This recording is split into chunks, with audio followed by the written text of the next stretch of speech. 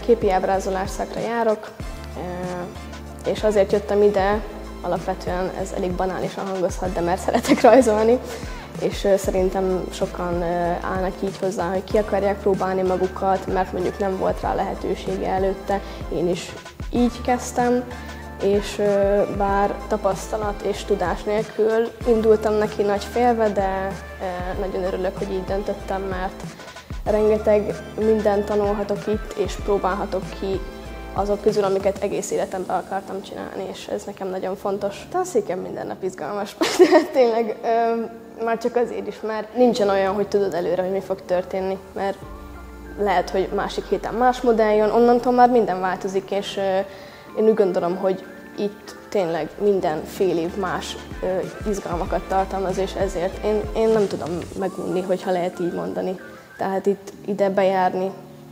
nem tudom, öröm, tényleg.